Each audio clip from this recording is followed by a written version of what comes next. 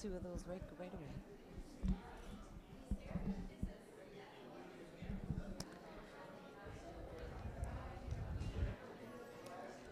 Should I start now?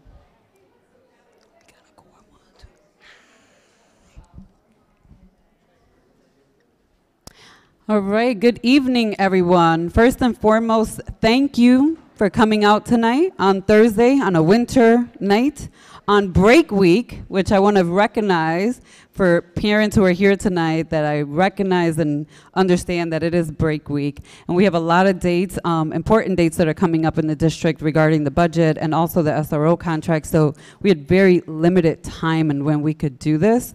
Um, but this training will be online. It will be on the Rochester City School District's budget page. It will be on our social media and it'll also be on YouTube. We do have childcare um, right in the back through those hall, right over there to the right. Um, Ms. Khadija is raising her hand. So there is free childcare. They are watching a movie. There's kids over there. Um, so please feel free to utilize that. Um, where are the bathrooms? I just want to note. So they're right by childcare. So you'd go out these doors to the back, to the right, and men and women's bathroom are there. So, welcome again, everyone. My name is Beatrice Lebron. I am one of the seven commissioners on the Rochester City School Board. And this year, um, so let me just explain a little bit. I just became the finance chair this year. Part of our process to be more engaging with the community is changing how we have done the entire process. So, in a very short amount of time, this is one of the changes, but next year's goal will be to not only do these budget trainings and presentations at, at the schools, but also the actual budget conversations and hearings at schools. So bear with me while we work through that because it is a it's a big undertaking. I do think it's possible and doable to split it up among the board members and different administrations and send teams out through all of their schools that they're the liaison for, but it takes a little bit of time. So Again, thank you. So for this year, we are doing a budget training, and I'll be starting with a quick overview.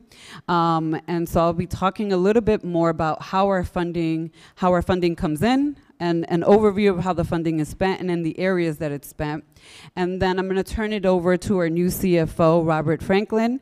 And then we have a question and answer session, and then we're closing. Now, we did some um, have a Google form online for online question submissions, and I'm going to kick off one of the questions now, which was test. So if someone out there in the community sent a test page, we got it, and I don't have to answer that one. Um, so we're going to go right into it. So we can categorize our, this is specifically for RCSD. Um, and we can categorize our school system spending into five major categories. So this is the areas where most of our spending is allocated. So instruction, total resources spent on classroom instructional activities, and examples of that are on the bottom, so that's teachers' compensation, charter school tuition, and special education. And one of the key takeaways with the instruction piece, and you see charter school tuition, is that the Rochester City School District Board is not a chartering um, authorizing board, and I'm grateful for that, but there are some school boards across the state where the board authorizes the charter schools or they may or may not set the tuition. We, we have nothing to do with charters being authorized as a school board. We also have no say in the tuition that we have to pay. So New York State sets that amount and we are a pass-through organization. Whatever New York State says we have to pay for tuition is what we have to pay. In addition to that, um, we are still responsible for special education services in charter schools, transportation, curriculum, and any IT material. So that does have an impact on us, and I just want to share that because it's part of instruction, but it falls under other categories as well. Employee benefits are the total resources that we provide to our employees based on collective bargaining agreements and New York State labor laws, so health insurance, dental, retirement plans, and social security. Transportation, the total resources provided directly to support students in schools. Again, contract transportation, district transportation. We also have to maintain any of the vehicles that we own with maintenance and fuel. So there is additional costs set to that. And again, charter schools would fall under our transportation costs as well, even though they're listed over there for just tuition. Um, Operation, so total resources spent on providing operational supports to schools and districts. So IT, facilities, maintenance, gas and electric. Um, staff resources, so total resources spent on salaries for school principals, security, administrative staff in schools. So curriculum writing, payments to teachers to attend professional development and accountability staff. And this slide will have our actual percentages moving forward in the actual budget once that budget is released so that everyone has an understanding of the percentages of our entire budget and how they fall into these five categories.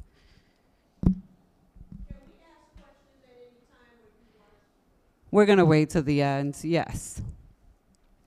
Um, so what is funded at central office that supports schools? Um, and let me just share that one of the things I want answered moving forward in the budget book is also what are the things that are in central office that are there that don't support schools or support them indirectly, because I would want to know that. Um, so finance, the finance department, they're responsible for the budget, payroll, grants management, the Office of Accountability, so they're responsible for testing and student records, human resources for hiring and benefits, central services, which is food services, transportation, operation of buildings, utility costs, rent, distribution center. IM&T, so technologies in the classroom, technology for students, online learning, and data systems.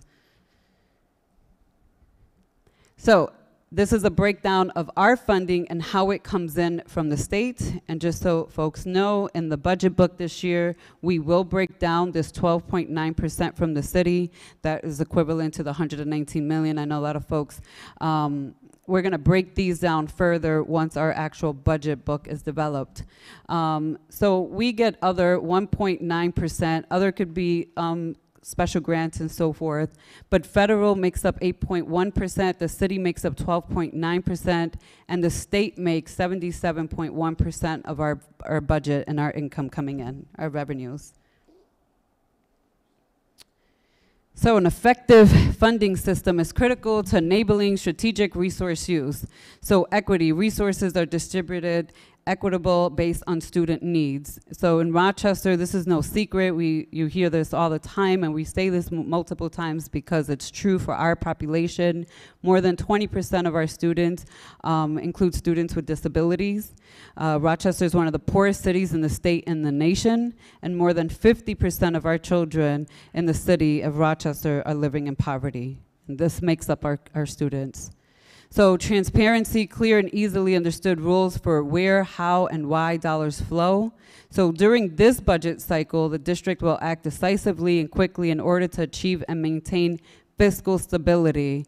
And I have to say, and I just want to clarify that the decisively and quickly is really related to the important key dates, which are posted over here. Um, so if you look at these dates over here, we're having this session today, but really March 12th until May, sorry, they, they're on the handouts too, on the back of the trifolds. But March through May, by May 7th, um, we really, that's not a lot of time to go through an entire budget and cuts and closing, you know, talk about closing the deficit. And so it is a very short amount of time. Some of these dates are also related to by law the dates we have to have the budget in by and the amount of time that City Hall and City Council gets to have the budget. So that's the steps in the budget process. So the superintendent and the district and administration prepare the budget. That is their responsibility, and that's happening right now. So it is their responsibility to do that. The board then receives the draft budget proposal.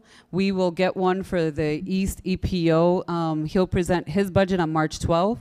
The superintendent will present his on March 17th.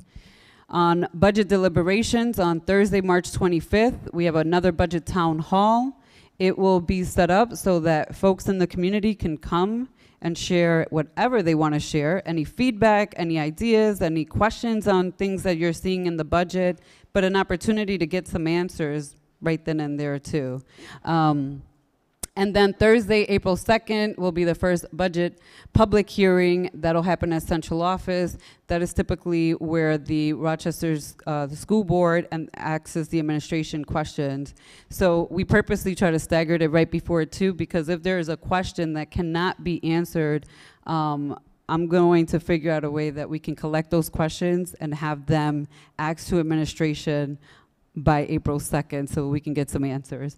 Um, April 14th, April 16th, so back-to-back deliberations, and then a budget, the second budget deliberation session is April 30th, the special board meeting for budget adoption, that this is when the Rochester City School District Board will vote on the budget, is May 7th.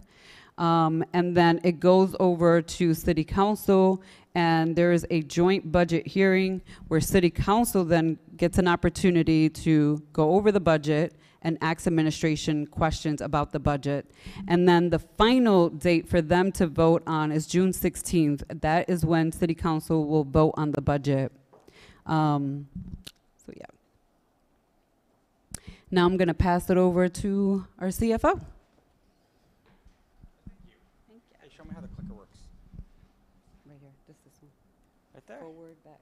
Thanks. Well, Commissioner, Commissioner LeBron is a much more engaging speaker than I, so uh, bear with me. Okay, looking at the, the budget book, um, thank you. Uh, looking at our budget book, uh, section one really is our uh, introduction and overview. Uh, there's just a few things in there, uh, a little bit dry. Uh, as Commissioner Brown was just talking about, City Council actually approves our budget. Um, you probably know, but for those of you may not, um, this is basically because the City of Rochester levies the school tax on our behalf. We don't levy our own tax, and the City Council actually has to approve the funding that it provides to the City School District. Uh, you'll also find in our transmittal letter to um, Mayor Warren. Uh, that letter basically just outlines the goals and objectives that the district is intended to support and the district budget is intended to support. And you also find in that section a reader's guide on how to understand the budget book. Uh, you'll also find in there uh, an executive summary for those of you who don't want to read the entire 500 page book uh, and an organizational chart showing uh, who, does, who does what within our district. Uh, section two of the budget book, not a very thick section, uh, really goes over the district's mission, vision, a variety of board policies. Um, the board policies included in the budget book relate really to our budgetary process and financial accountability. You're not going to find all the board policies in there, just those that pertain to finance and budgeting. And then really information on enrollment trends, our union agreements. Um, there's actually five unions in the city school district uh, representing our employees. Two of our unions um, have contracts that have actually already expired and are currently being negotiated. Uh, we have a third union contract that will be expiring at the end of this school year, uh, so we'll be taking on that negotiation as well. Section three of the budget book, one of my favorites uh, because it provides a complete overview of the school district's uh, budgeting. Um, although it's a relatively thin section, uh, it really is chock full of information. Um, you'll see in there um, all the district revenue sources and a written explanation that describes what each of those revenue sources actually for.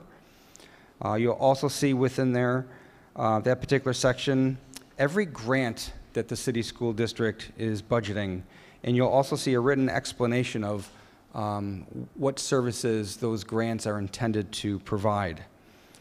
Uh, we, in this section, we also provide the detail of each type of budgetary expense, and we also include a brief explanation of the major changes from year to year in those expenses. And finally, in this section, um, this is also where you're going to find our projection um, for the next uh, three years of our revenues and expenses. Uh, You'll see the general assumptions we uh, take in using those projections uh, and the efforts that the district will need to employ in order to ensure that our expenses remain in line with our projected revenues. Not an easy task. Section four is probably the meat and potatoes of our budget book. Um, these are, this contains our school profiles and budget. Uh, it's on, pro- probably of most interest to of most of our parents. Uh, for the upcoming budget, you know, in the prior budgets have been organized a little differently. The most recent budget, our school section, has been organized by the chief of schools, who's in charge of those. For the upcoming budget, we're actually looking to organize a little differently. Um, you see on this the three zones of the city school district. So um, we're actually thinking about organizing our schools by zone, and perhaps um, we'll have some color coding or other visual indicator because usually parents are looking for their, the school that their child goes to. So hopefully we'll make it a little easier or a little more quickly to find the school that's of interest. Um, each school will have um, its estimated uh, spending, staffing, and enrollment, and its revenue sources. Um, and you'll see uh, some accountability data as well, some student performance data, uh, similar to what you saw last year. Section five of our budget book, you know, not all education is taught in a brick and mortar building. We have a number of alternative programs. Um, some of our programs serve students from all over the city of Rochester. Uh, some of our programs and educational services are delivered at multiple locations. Uh, so those programs that have greater applicability um, and wide ranging through our district are presented in section five. Uh, for each of those programs, you will see a description of the services that that, pro- that program provides. You'll see the program's goals and objectives for the upcoming year. Uh, you'll also see for each program its measures of success and its budgeted revenues and expenses, of course. Section six, another favorite section, it's our administrative section, the section that finance belongs to. Um, this section of the budget book has all of our administrative areas. Again, finance. It also includes um, our Board of Education. It includes the superintendent's office and his chief of operations and staff, chief of service, chief of staff and deputy. Uh, it does include our facilities and operations department, our law department, and our human resources, our human capital initiatives. Uh, each of these areas, like the schools, will have a description of the particular administrative functions that are provided, uh, the budgeted expenses needed to perform those administrative functions, and the staff employed who actually perform those functions.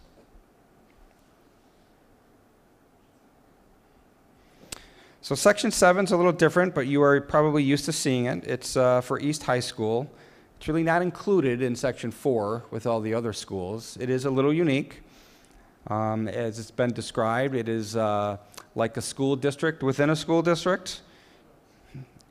Our East Educational Partnership Organization, um, nonetheless, is, uh, has its own section, and like the other schools, you will find a description of what the EPO actually is and what it does. And you will see its budgeted revenues, its budgeted expenses, and its projected enrollment and staffing. Our district-wide profiles and budgets are in section eight. These are a little, um, not exactly administrative by nature, but they're um, budgeted areas that pertain to all the employees or throughout the district. Really, the district's debt service and our employee benefits, such as health, medical, uh, dental, unemployment, social security. Um, we, budget these, we budget these centrally. Um, the staff tend to uh, transfer uh, between schools from year to year. Um, it's just a lot, it's a lighter administrative burden to budget these items more centrally. Uh, and then as the year goes on, we do charge the actual expenses based on where the particular employees reside. Um, our debt service represents the annual repayment of borrowed funds, both the principal and the interest. Uh, It's roughly 9% of the overall budget. Um, The employee health benefits and a variety of insurances is roughly 19% of the district's annual budget. Section 9. Section 9 is a little thicker section. It's not an operating budget, it's a capital, capital budget. Includes our capital improvement plan. It's a pretty comprehensive document. It identifies uh, building conditions, uh, structural maintenance needs, uh, other rehabilitative work that is required for our buildings, and the work that is performed uh, based on anticipated enrollment trends. Um, that work is also based on building capacity, building utilization, and perhaps changes in upcoming programming needs. Uh, For the projects to be undertaken, the plan provides a plan for financing. It's laid out by the accounts um, that are eligible for reimbursement. It also takes into account and projects the legal limits that the district has on debt, uh, financial market conditions, and the district's ability to repay those borrowed funds. Uh, For the school that your child attends, or your grandchild, or your neighbor, you can find uh, particular projects that are going on at any particular school uh, that will be taking place within the next five years. Lastly is our appendices that are found in section 10 of the budget book. Um, There's a variety of appen- uh, appendices here. Um, They're really um, either budget-related or performance-related. Uh, The performance-related appendices kind of give you a flavor of the outcomes that are being generated uh, for the students we serve, both at a program level and a school level, and a variety of demographic information that um, slices and dices our student population 10 different ways. That really concludes uh, my portion of the presentation. So if you have questions, I notice uh, all our board commissioners are in attendance tonight. Uh, And there's the contact information via email that uh, your board member can be reached. Commissioner?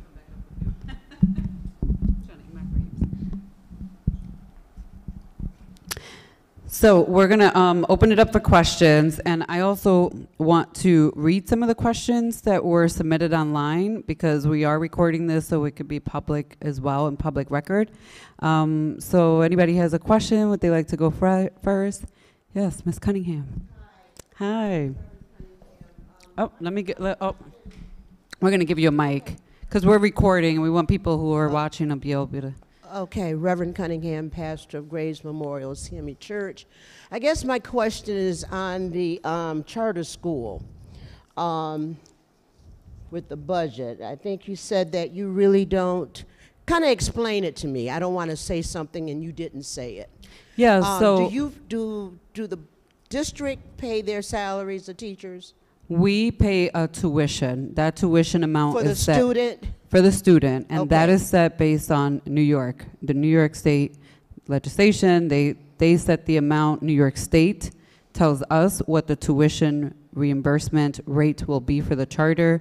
Um, so I share that because sometimes people think that the school board has a say in what that tuition amount is, and we don't. We we we literally have to follow what the New York State tells us to follow. Okay, even though you have quite a lot to do with the kids that have IEPs, I- you I- still don't have have no Any- say, no say Okay. in how much we pay them, and no say in what happens at the schools. Okay, and my other question, uh, just for clarity, um, in, in previous budgets, was that taken into consideration concerning the charter schools? Because I know we're in the bind that we're in now. I just want to know, um, in previous budgets, since we're in a place this year where we haven't been in quite a while, um, have the charter school situation been taken into consideration? You, yeah. Um, you want to take that? You want me to take it? Here. We're both gonna tag team. We're gonna tag team this question. That's okay. I just, I just want clarity. Uh, Our budget director and I were just talking about the charter schools uh, before the meeting started. Um, we do pay the tuition. We are responsible for a variety of payments, including um, uh, textbooks, uh, computer hardware and software, uh, transportation. Uh, so there's a variety of, of costs that uh, the city school district um, pays for, but does receive state aid. I think the biggest challenge the district faces, perhaps one of the biggest challenges the district faces with charter school has been the growth in charter school enrollment over the past several years. Um, I did look earlier today at trends for the past three years. On average, it's about 6.6% increase in enrollment, uh, annual average. So I think the district's ability to respond to such um, a rapid growth is difficult. Um, and I think that's why you're seeing some of the um, strange strains the district is experiencing from a capital and building perspective. Anything to add? Can you get her mic? With the new um, implementation plan that was put in place last year by special ed, um, by Keisha Morgan, was that taken into consideration? Because things had to have been done a little bit different, um, the way how that plan was put out, So. and the cases. Yeah, so speaking of, I, I think you're talking about two key points that have come up in the budget deficit. Um, yeah, so there, those are additional costs. And unfortunately, what happened was that previous administration um, put out a budget that uh, cut those areas and essentially under budgeted those areas without an actually an actual plan to control the cost in those areas, um, but just to pass a budget that was balanced on paper. But in actuality, there was no plan to reduce the cost of special education or charter school, and in, and or health benefits. And in fact, we couldn't, not with the tuition, the amount of enrollment, and the student population that we know that we have. So that's been discussed multiple times, unfortunately. Um, I do not believe that those things were taken into consideration last year. We knew that there was going to be a spike in the charter school tuition. We underestimated the enrollment. We didn't take into the account the increase in the tuition. Um, and obviously, we're owning that. We have to, we're paying for that now, unfortunately. Does that answer some of your question, Ms. Cunningham? Well, actually, in the 20, that was the 2018, 2019 budget. I did not vote on that, and neither did Commissioner Sheppard, just on the record. So, yeah. Oh, I'll go like this down the, I'll, I'll start here and then I'll here.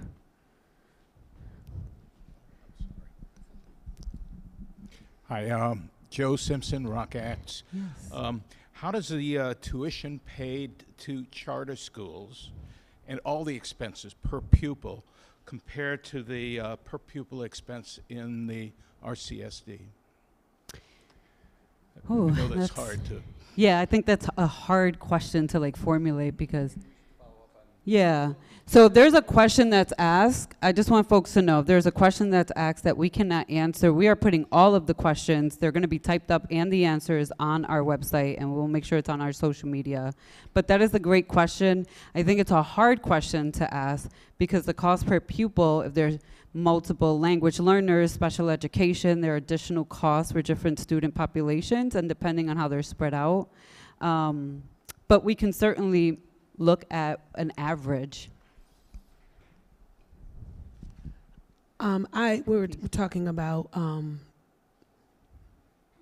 budgeting in charters and the increase in charter school enrollment. Have we done that this year for years coming? Because in reality, having been in the district twenty-five years, um, I think the real issue is how do you get parents like me who are looking for schools in the district and cannot find something that adequately will educate our children. How do you keep us in the district without having to look at charters or private or any other school? Because the reality of it is, I'm a, I'm a grandparent right now with two grandchildren, and I am struggling to find a middle school in the district. And I'm, I believe in public education. I grew up in public education.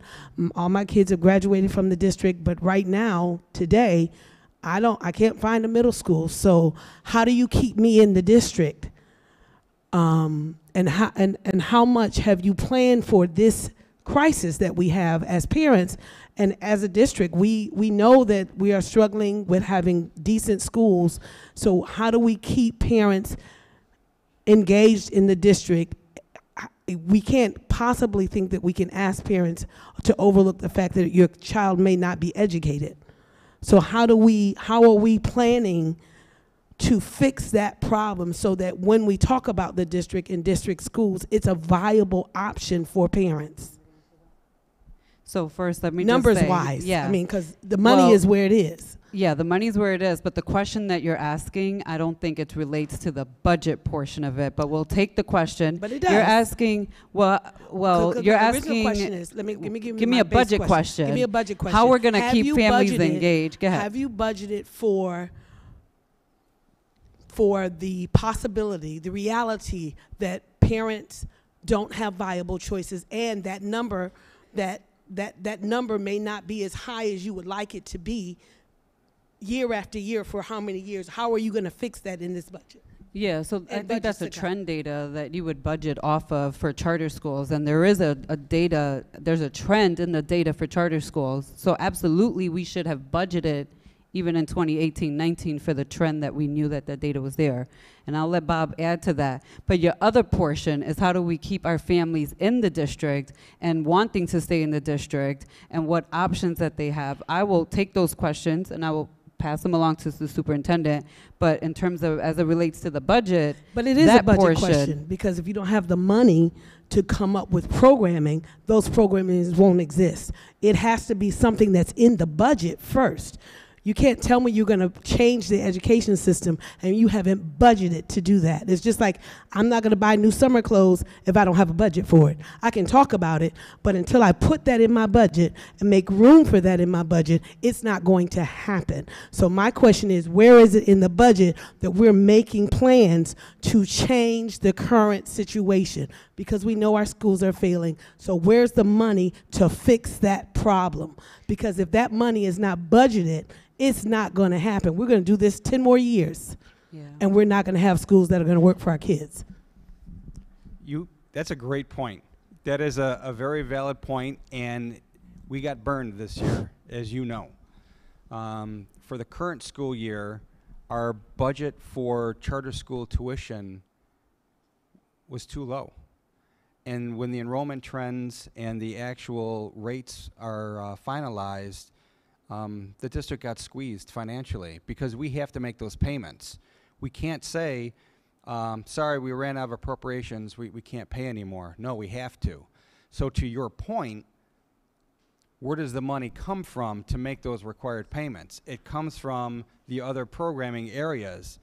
So as we require to make charter school tuition payments, the students in our districts kind of might bear that burden educationally. So, so you're right. So what we have to do going forward is be a lot more judicious in our uh, enrollment projections, our cost projections, so that we can budget appropriately, even conservatively, to make sure that we don't feel that pinch in a future year. So we're gonna, we are doing that. Um, I did, I think I mentioned a few minutes ago, I actually looked at the enrollment trends for the past several years, and I can see on average a 6.6% increase. So we have to take that into account going into the 2020-21 budget season, right? So we're going to do that. That's going to cause some pressure. You know, charter school tuition payments are approaching $100 million. That's like about a ninth of our budget, so, you know, 10, 11%. You know, we have like almost a $950 million budget, right? So 11% is taken up by charter school tuition. And we still have to manage those payments. Uh, we have to have someone in the district actually processing those payments. So this is going to be a tough issue, right? This is going to be tough going into to next year because we have to have the um, appropriate amount of appropriations.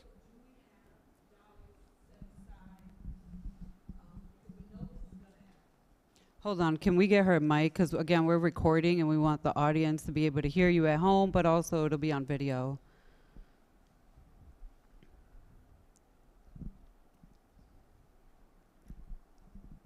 So do we have funds that are actually going to be allotted for improving as well as, we, well, we have to make the payment, but do we have dollars set aside to say, well, this school needs these additional dollars to get to this place so it's a viable school for our kids? Do we have dollars set aside for improvement of existing schools that are, you know, might be on the border?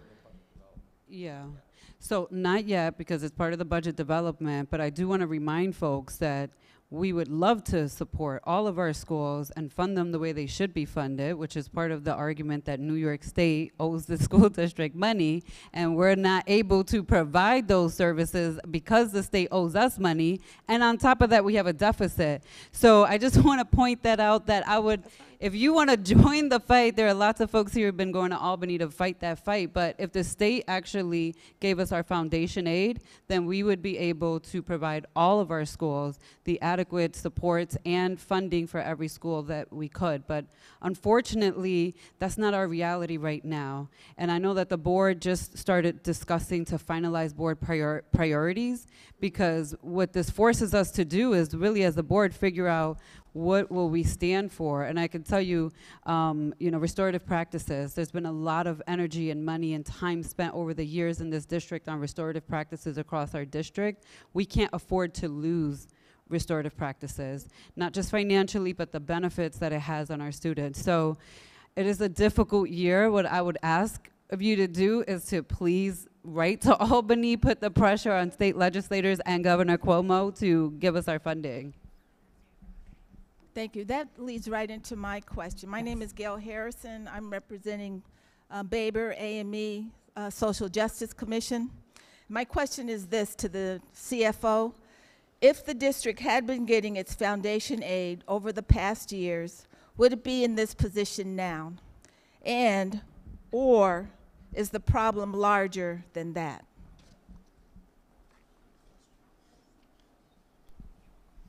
Well, the budget, the budget issue has several facets to it, right? Obviously, if New York State had been um, appropriating in its budget, the, the um, can I call it the correct amount of foundation aid that they uh, promised, that would have been a tremendous benefit to district finances. However, another side of that coin is how do we when we get revenue from New York State, how do we allocate it? And how do we monitor the spending, right? So if we had received the additional foundation aid that we were promised years ago, would we be in the state we are now? Probably not. Um, but it's hard to say what's the impact of something that didn't happen.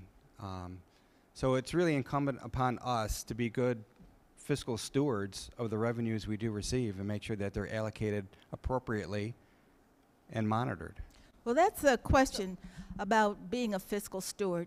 My, my real question is when you look at the deficit and then you look at what's owed, is there a balance there? Or is there still a negative balance or is there or does it plateau? So you're in a position now to say okay we're missing 60 million dollars. We should have been getting 30 million 30 million 30 or whatever it is over the past 10 years and now we're at 86 million dollars.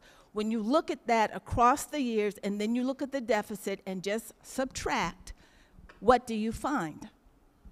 Yeah, so if you want to do more simple math like that, look at our Yes. deficit today. yes And would that have been wiped out if the governor were to plop a check on our well desk? if he had And- followed um, you know the court Yeah, ruling it, it would have, it, it would more than eradicate our deficit, yeah more. so The state the- owes a lot of money. Yeah, so the, so the fight, so in order for our district to have the programs that we need so parents aren't fleeing, I have three grandchildren in the, in the district. I'm concerned about, um, you know, what's happening. We want to, we don't want our children to be guinea pigs. And so when this fight comes up and we're talking about foundation aid that the district is owed, I mean, that's a real fight. That's at Sue level, Sue, S-U-E. you know, that's the level. That's not to say what the reality is or what the, you know, what blah, blah, blah. That's to say, to me, where our fight is. Because at this point, our children are getting dissed. Our children are not getting what they're owed. We are a district that requires and needs certain things. And if we don't have them, then you see this. And then within the board and within the CFO office, then you can talk about waste or whatever. But get the money that you're supposed to have. Get it. My, que- my question follows directly. Oh, I'm sorry. No, no, go ahead. My question follows directly on top of that. My question is why our district leadership, whether it's in the budget office, board members, why are we using neutral technocratic language? Why are we equivocating, almost being almost embarrassed, it sounded like, to say like what we are owed by the state? This is statute. This is there's statutory limitations. The school board was just given guidance yesterday in email about the complexities of state aid financing so that school board members can be well informed and articulate. And it it goes right through if statute if statute was followed, the formulas and the amount would be so different. And I just want to say the reason why this question is urgent, I mean I can't I can't say it as well as you did. But I want to just add to the evidence, following up on the question about programs and improvement. We've seen improvement driven by budget allocations to restorative practices, toward anti-racism work, toward you know focusing in on schools. And then we've also seen where the state has directed extra funds to East High School, to School 45, to School 9, schools where we've seen dramatic increases in achievement, where the board has been celebrating their achievements. That's because they were given extra funding under state stipulated receivership laws, which are problematic. If they just fully funded the foundation aid and allowed our community groups, like we did with school climate work, to drive that progress, if we allowed teachers and parents to work together and drive that progress, we would be seeing the kinds of fruits that we're beginning to see at places like East High School. And so it's so easy. It's like it's not complicated. It is about power and wealth and about the opposition to that. There's a petition going around. Sorry, I'm this. I'm just going to say real quick. There's a petition going around. It's um, my daughters who led some of the um, walkouts over, you know, when the midterm, mid-year cuts were being done. This is their latest effort to advocate because there's a bill that targets people who make over $100 million for a very small increase in their tax percentage, and it would fully fund foundation aid. And it's such a beautiful circle because um, Senator Robert Jackson was one of the original parent plaintiffs on Campaign for Fiscal Equity. He became a school board member, a city council member in Harlem. Now he is a state senator leading this equity fight decades later. Our kids got an opportunity to spend time with him and to learn from him. And what are we doing in Rochester? Why are we not? I mean, we are the epicenter. Did you see that, that equ- equity, um, the border, the, the most segregating border in the nation is Penfield and Rochester? What are we doing? Why are we not fighting harder? You know, it's more than a petition. It's like we should be breaking down Albany's doors and, and allying with the senators who, there's powerful advocates and allies right now. And I feel like we're not even strongly aligning with them. Like, why are we letting New York City progressive leaders fight for us without us pulling our weight? Sorry, it wasn't a question. That's okay. It'll go on public record, Mary, and then everyone can see it and live as well. So good commentary. Yes. Hi, Hi. um, I'm Kelly, and um, I have a niece who graduated from RCSD, and her daughter is about to um, enter kindergarten in short order. And so I'm very concerned about what is happening with the district and have been for years. Now, I will tell you in full disclosure, I work at a charter school, and I have worked in charter schools since 2007.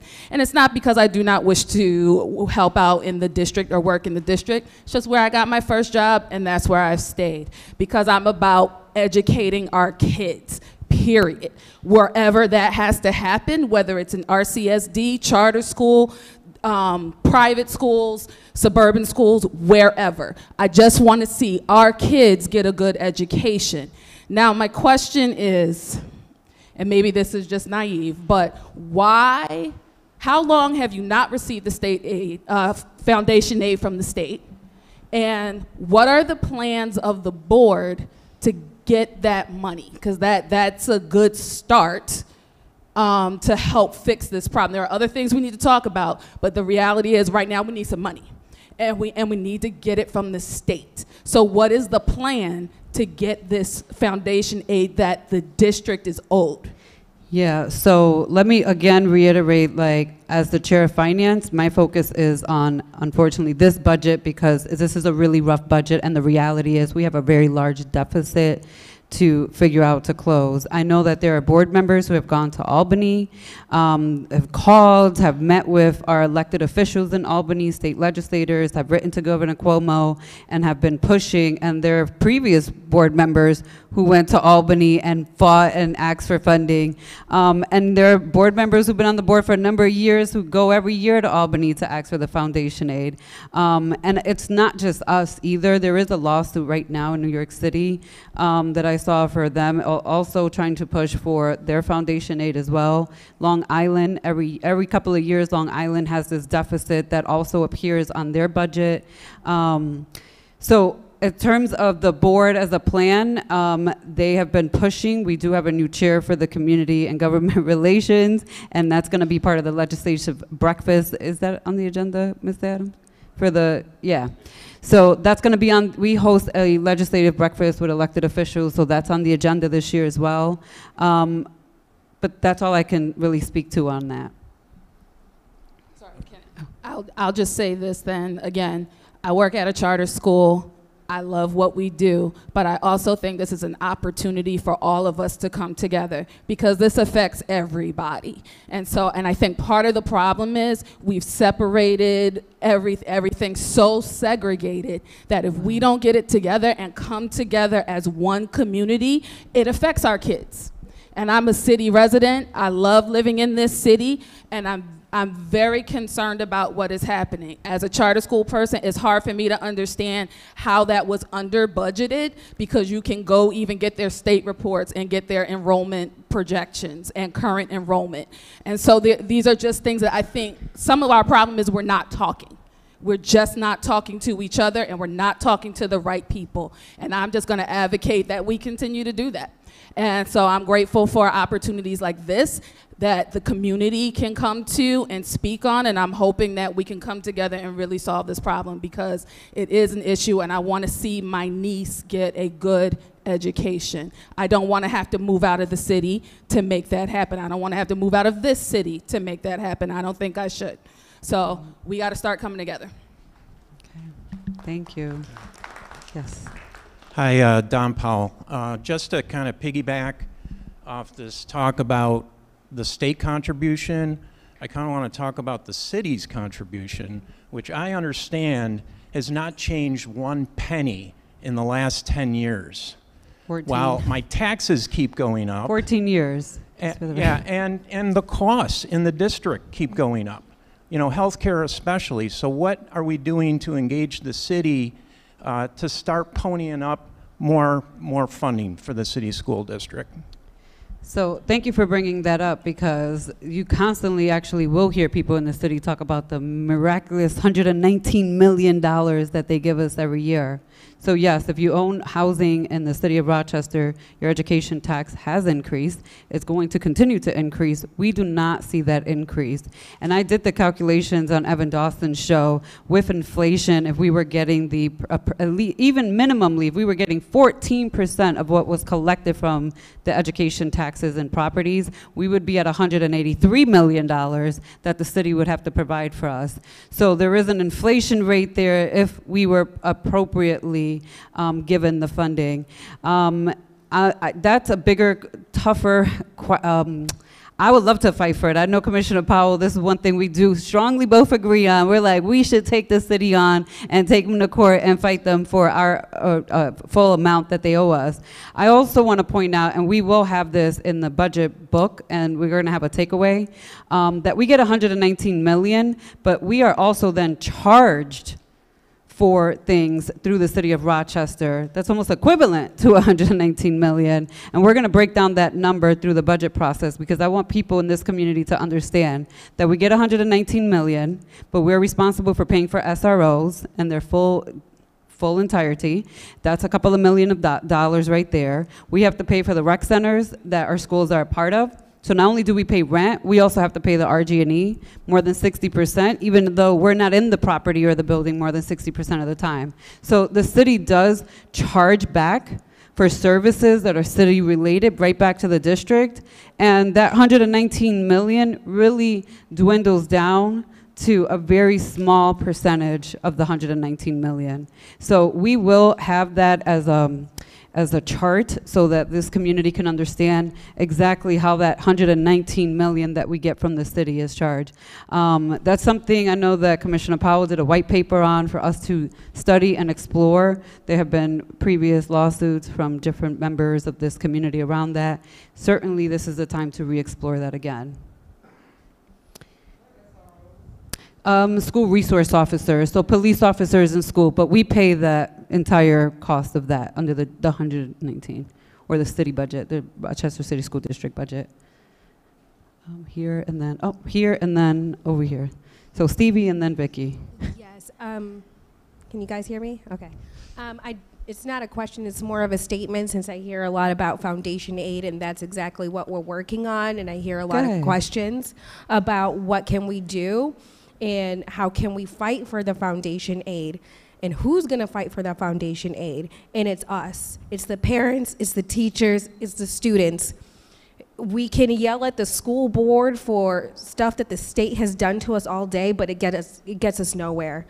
We have gone to albany. Citizen action has bought buses and we've bus people out all the way down there and we do letter writing campaigns, we do phone banking. Mary Adams, her daughters, and other students, we drove six hours all the way to Yonkers to speak at the Westchester uh, budget delegation and drove just to speak for two minutes each, and then drove all the way back on a weekday. It was a school night. Not everyone can make that sacrifice, but there's other things that you can do. We have weekly, daily action items where we target senators to get them on board to support a revenue bill that can tax the ultra rich that would more than fund the foundation aid. The one that uh, Mary was referencing, it raises the tax on them by 11.98%. It's still not the highest tax rate in the nation and it's on the ultra wealthy, it would generate $4 billion a year. So it's more than enough to foundation aid. And it's picking up steam in the Senate.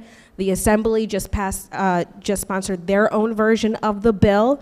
But in order for those things to move and get traction, we have to mobilize as parents, as students, as teachers, as concerned community members because if we are not vocal about what we want to see in our community, they will continue to ignore us.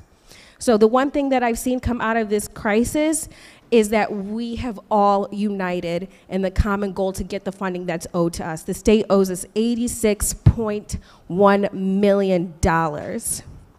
There's nothing equitable about that. It's shock doctrine. This is done on purpose to force us into a position, to force us into a crisis where we are forced to accept scraps that puts us further in a hole and to privatize our schools.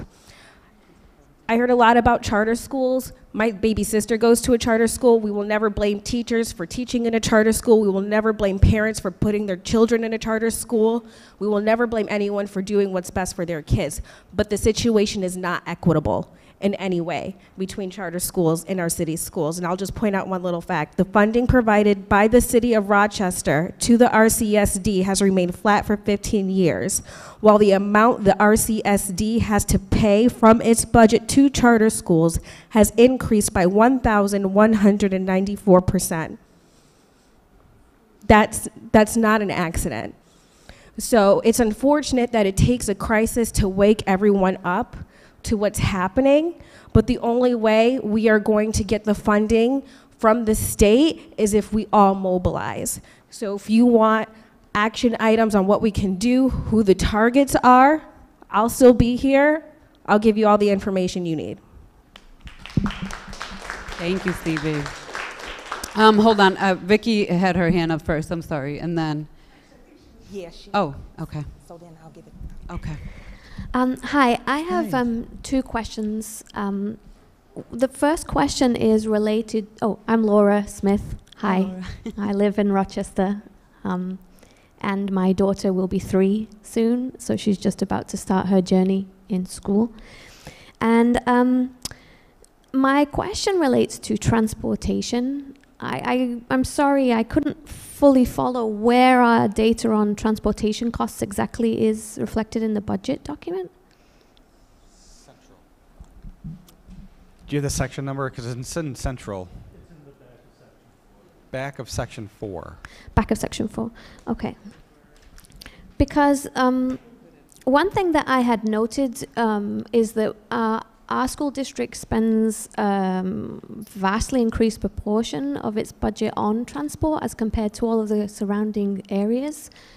Um, and one thing that I was thinking was that it absolutely is eg- egregiously disgusting that we aren't receiving the funding that we should, that is set out. I, I absolutely agree with that. But are we sure that we have done everything that we could to be in, inventive to make changes in how our budget is distributed to maximize what we're getting from that the current money that we receive? And one area i thought we could have some questions about would be transportation Yeah, no. I- So let me just first say, like, the data that, um, to compare the Rochester City School District's transportation costs to surrounding areas, um, the suburban schools have less, a lot less schools than we do. We have um, 64 programs in schools. We're zone, we're in four different zones, even though we label it three zones, the city is laid out in southwest, northwest, northeast. We also have a school choice policy, which um, has a lot of challenges, and it is something that the superintendent is looking at because we can have a student that lives in the northwest zone, but they're placed in the southeast, and we have to provide transportation. Um, in addition to that, the the um, we have that. We also have an inequitable amount of how our EOL and special education students are distributed among our schools. And that's something that we're looking at right now as well. So if there's only certain schools in certain areas that accept special education or a 1211 or four, or um, you know, a smaller class sizes, a 811, um, or they only have capacity for some EOLs in only certain schools, that's also going to drive the cost. We're also a very transient community, um, which is another underlying issue overall in this entire community with that's related to poverty. We have a lot of families that move, unfortunately, for whatever reasons. It could be from this month to the next, and I work in this community. I see it. There are lots of reasons why families are often in those situations. But all of those things have a play a factor into our cost for transportation.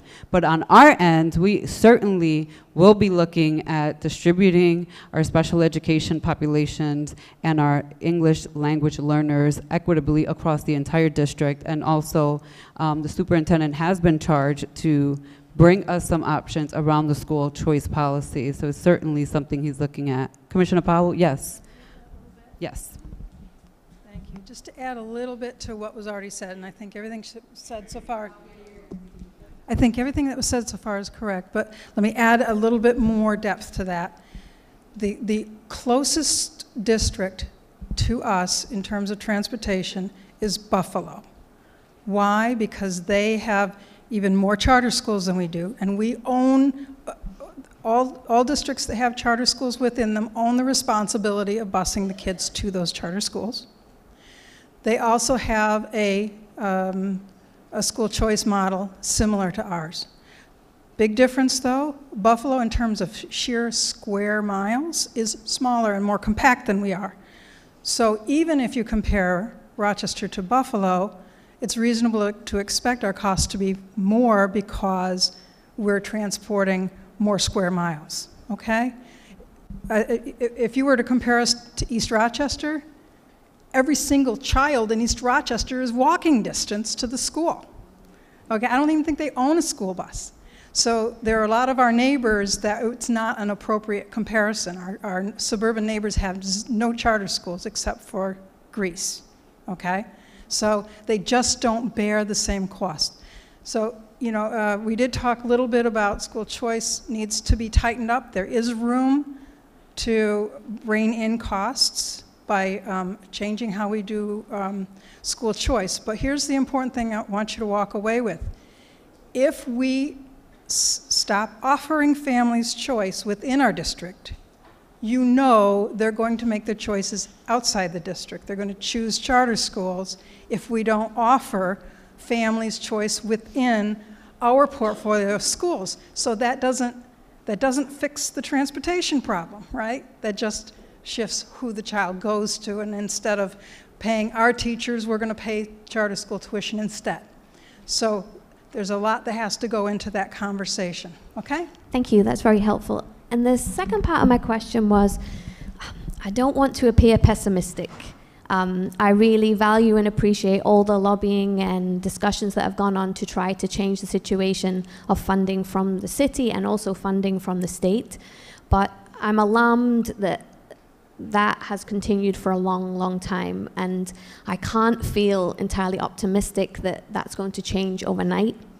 So, my, my question is really do we have some plan Bs on innovative ways that we as a city can generate um, income to our school systems uh, from the wealthy suburbs that plenty of people are willing to provide maybe some funding or more generally externally through business or uh, organizations. Do we have anything that we can do with that?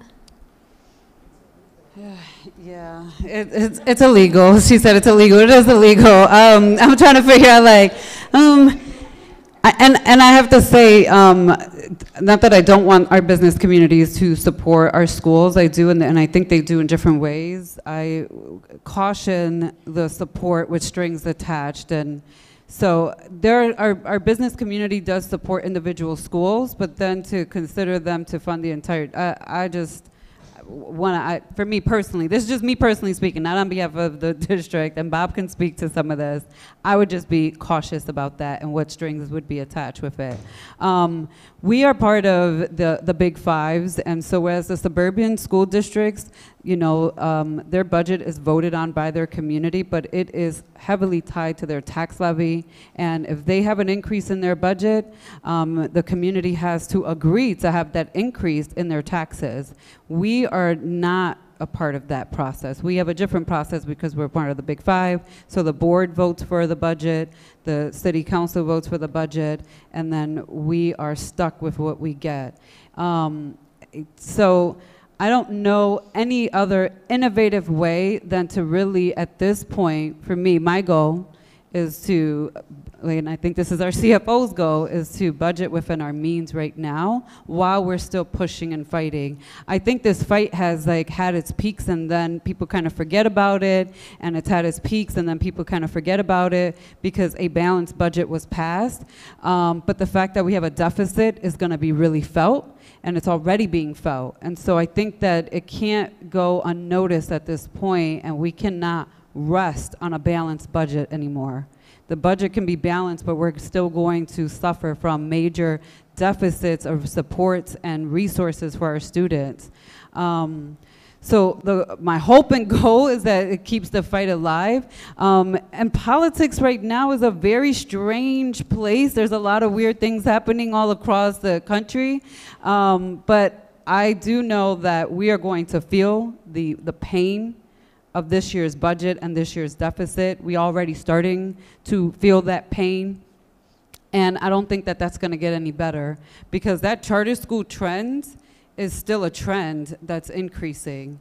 And so there are lots of layers to that. How do we figure out how to keep our students enrolled, right? If we don't have the funding to offer them the programs that they may want or the magnet schools or attractions. So I think this is going to be an ongoing conversation that this community can no longer just rest on a balanced budget. I appreciate everything you said. Thank you. I, I, I, should clarify, I wasn't meaning for us to take money from the other school districts. What I was thinking more is the model of uh, crowdsourcing financing. So, in terms of us looking at, for example, a program that we could set up where people could sponsor a child's transportation, um, where we would reach out to, to different people around the nation, why not? to help fund our district to carry out those basic things like providing food and all those kind of things that we could maybe get some support with. Um, we were just talking, having a sidebar, because a lot of the schools, actually, their PTOs, PTAs, and school-based planning teams kind of set up accounts to do fundraising for smaller, smaller scale.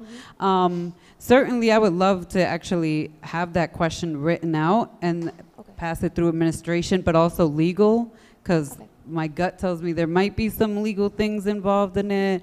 I'm not 100% sure on that. I would love to do it, um, but I don't know how much we could crowd fund and raise and um, certainly like i said we'll take the question we'll make sure it goes on the website and then get an answer from both administration and legal thank you sorry i didn't have an answer Vicki. Okay. Um, my name is Vicki Robertson. I'm a parent in the district. My son graduated last year, and I've got my younger one is a sophomore at Wilson. So I've been doing this for a while. Um, and I've looked at an awful lot of budgets. So I'm going to switch the conversation. I'm 100% behind Stevie and the push for foundation aid. We've got to make it happen. Um, but we've also got to deal with this budget. And my question really to the CFO is how understandable and transparent is this budget going to be? Because I've looked at, I've had CFOs tell me, oh, well, you can't really look at this individual school data. That's just all up in flux and it changes all year round. So don't worry your pretty little head. All right, they didn't exactly say that. um, to having real credible information where I could say, oh, we've caught two art teachers and a science, you know, and a science teacher or whatever, and then I can understand the choice. Um, there's going to be really tough choices that you have to make, and I want to understand what they are and be able to tell you whether I think they're a good or bad choice. Um, and I think that's really important. Um, it's the only way we're going to get through this is if we all understand the logic. We may not all agree with the logic, but we need to really have um, in-depth understanding of that logic and transparent understanding of that logic. If it's just surprise when you show up at school and there's no teacher for your kid, or your kid's in a class of 30 kids or whatever, um, that's not okay. Uh, we, we need to understand what's going on. And how are you going to be able to do that? Because honestly, definitely over the last couple of years, I, I gave up trying to read the budget book because it was, it just was meaningless. So a couple things about that. Um, regarding transparency in the budget book, it's, and I said this about other budgets that I've put together, it's 600 pages of transparency. It is so transparent you don't even read it sometimes right? It's just too thick. Um, we try to cram a lot of data into this document, um, including student performance data, school performance data, which isn't really a dollar earned or a dollar spent, but it kind of goes to the outcome you get for the dollar you spent. Um, our the budget director and I have had a couple conversations about this. Um, I'm not going to make an excuse here, but I'm going to make an excuse here. Um, being the new guy and our budget director is this first year that he's actually the director, we're making as few changes as possible to the budget book, but we know there are changes to be made. Um, our other problem is we had a $64 million deficit this fiscal year everything kind of got put on hold. We would have started the budget process back in November. That all got pushed to the side, so we really started in mid-January. Um, really compressing the timeline and making it almost impossible to make meaningful change to the, the actual document that is a budget book. Um, but, we, but we get that concern. I, I would love to comment though, our superintendent, what I, what I love about Superintendent Dave is he tends to put his cards on the table. So when you want transparency, every time he gets up in front of the board, every time he gets in front of uh, a state senator or assembly member or the media, he tends to put his cards on the table, and he's probably one of the more honest speaking uh, individuals I've, I've had the pleasure of working with. I know you wanted to tag. I, no, I want to add to this because we are actually going to have a supplemental document to the budget that's going to talk about what's being cut, what the impact's going to be. Um, because I had the same concerns, like if the cuts are going to be throughout six, seven hundred pages, how can anybody really go through it and have any meaningful understanding to what that means for their child or their school and so forth. So we will have a supplemental document. We created the trifold just so it has, can I borrow yours, Kathy? So we created this trifold um, specifically for this one because it has all the important key dates and we want folks to remember these dates.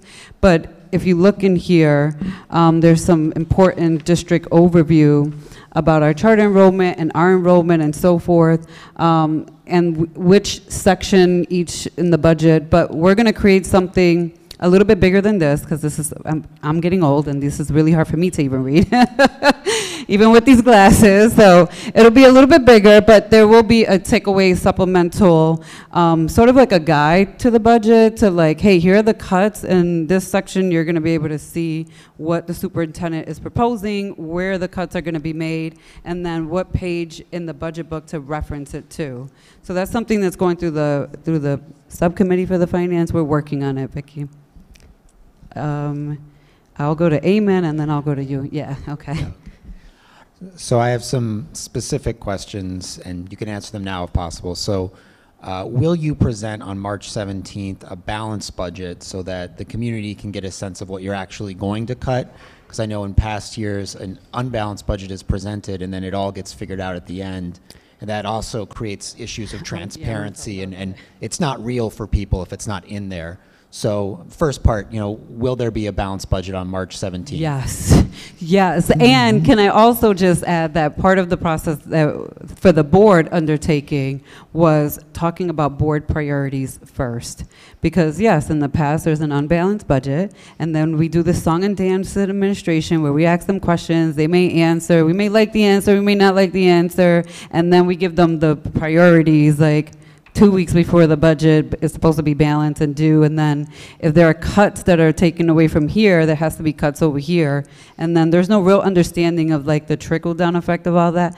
So this year, um, we just met on Tuesday, and to start the process of creating and drafting the board priorities as a guide to the superintendent. These are the areas we absolutely will not support, and these are the areas that we will support. Um, and that's going to be important for him, him and his team and Bob to know. So don't come to us with cuts and restorative practices, because the board, you're not going to get four votes to support that budget. So that was part of the goal was to get that out there and be transparent as a board to the administration, so that they know of kind of a guide of how to figure this out. So yeah, and I know. Bob's goal is to present a balanced budget that's going to be accurate from the very beginning to the very end. And, and a, a second piece is, will you provide, because it's not usually provided, a position summary of all the positions that are being cut? Because you can't really see in the budget book what's happening because it's all disappears into each individual school's budget or in different administrative units. So uh, it, maybe it's not part of the budget document, but I think a real breakdown of what are the cuts going to be, so you know that it's not half a social worker here, half one there, but it's 10 total, or that it's 15 reading teachers, that you have those hard numbers. And then also a breakdown of what are the positions being cut that are actually filled versus positions that are just held in the budget and never filled. Because I know another real problem for the community is that there are a lot of positions Yeah. in the budget that simply are never filled. And so that's an equity issue and, and a transparency issue. Yeah, so we are going to, in the supplemental document, show what, where, where the cuts are being made and what the actual impact of those cuts are. Again, as a parent, I would want to know if, is, is someone being cut in my child's school, how is that going to impact me and my child? Um, and so that's kind of like the um, mentality for me going into helping work with them on the development of that is that if I'm a parent at 15, I want to know is 15 going to be impacted? Who at 15 will potentially, is it going to be the art teacher, the music teacher? I need to know so that I can then also support my child. Because I know we have these conversations as adults, but our children really are really the ones who are facing this stuff day to day. They're like the front line of all of these conversations. Um, so part of the supplemental document is really to show, like, here are all the cuts. Here's the areas that they're going to be cut. Um, certainly, we could do it by FTE, an actual FTE. And I do think that that's something. So Bob and I have had meetings too, and like he said, he's brand new, and like we're in the middle of a crisis. Um, so again, like next year, the vision even for this is that we do this in each school, in each school community, and that we also then have the um, instead of doing the two-way conversation on March 25th at central office, that that is also moved from school to school to school, um, and so that's going to take a while to plan. And, but I do think it's doable. Again, there are seven board members. It does not just have to be me. We we have school liaisons. Um, so I share that to say that yes, in the supplemental packet, um, we did create a feedback too for tonight. Um, so certainly, if there's additional feedback on how to improve these things, we want to. I want to personally hear that. Let me just say that I am a big fan of assessments and using assessments to better improve these type of forums and outcomes and so forth. Um, so that'll be on the district's website, and if folks want to email to them, let me know, and I will make sure it gets emailed to you too. But yes, Amen, we are going to have here where the cuts all are here. And I think that's important. And then also where in the budget book to reference it, so if people want to read further into it in the budget book, um, and where that's going to be. So Bob's looking at me because he's not there yet, but me and Kylie have had these conversations. Um, I have a, another question. Yes. We were talking about, I'm, I'm, I don't mean to take us back, but I think it's important when, when we were talking about the city and the city's uh, contribution. I, um, the reality of is we are impoverished, and a lot of our s- property in the city, there's no taxes to get. It's city owned, and so my question is, is when we're talking about dollars, are we looking at ways to sit down with the city? And those um, key players to talk about ways that all of the the entities, city, city, city school district, um, whatever agencies that are directly affecting our ability to move forward as a community as it relates to our children's education, are we planning? Do we have something that is going to make sure that that happens so that when the city makes a decision, it doesn't hurt us in a way that we're paying. I'm gonna say this: we paying for cops. We really don't need cops. We can do rent a cops.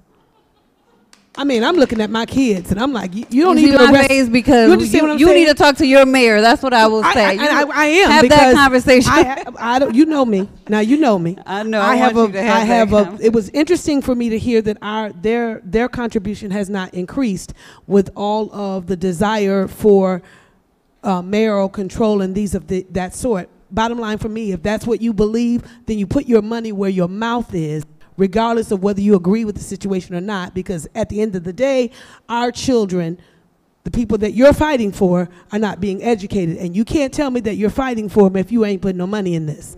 See, I- so I don't have a problem going to her, but I want to know what we're doing to make sure they come to the table to talk about these things because it disturbs me that if we got to give them back the money that they give us, In we need to fire them and get and, and get some more money. Get, keep our money. I'm with Just with give you me on our this money. Let us do what we got to do. I'm, I'm being real because no, me too. I want you to know I support that I'm- ideology, I'm- but because the reality of it is, at the end of the day, my expectation is my grandchildren, just like my children, will have an education that they can stand on when they go to to college. I do not expect them to have to take remedial courses when they go to college because they did not get an adequate high school education. And the reality of it is, I'm let me be transparent. This is my first year working in a charter school. And I went to the charter schools because I knew that, yes, we have Rochester Prep is the bomb. But other than that, charter schools have the same issue we have in the district. Our children are not, black children, colored children are not being educated. And it was my way of going in and providing a service because I want every child in that charter school to be successful. I'm just one person, and my plan is to affect every, all 320 of those kids because I'm fighting the same battle at their table that I'm fighting at this table because that's the only way the change is going to come to them. I'm not really interested in high up, I'm, I'm interested in them because they don't understand budgets. They don't, they don't understand anything other than I go in a classroom and my computer doesn't work and there's not enough for me, and we don't have pencils, and we come to school late. The bus is an hour and a half late. They didn't call us. We don't have adequate food. The food is nasty. They don't want to eat it. That's what our children understand. We don't get to do what they get to do. We don't go on field trips. I'm at the place now where I, you know, all this is great, but I wanted to go all the way down to that three year old that's getting on that bus. When they walk on, I want them to have the best experience every single day, every single time they touch any school in our district. And for that to happen, we need to get people at the table talking. No exceptions to that rule. So my question is, it's a budget crisis and the city is taking Yeah. back their money. What are we doing to make sure they give it back to us?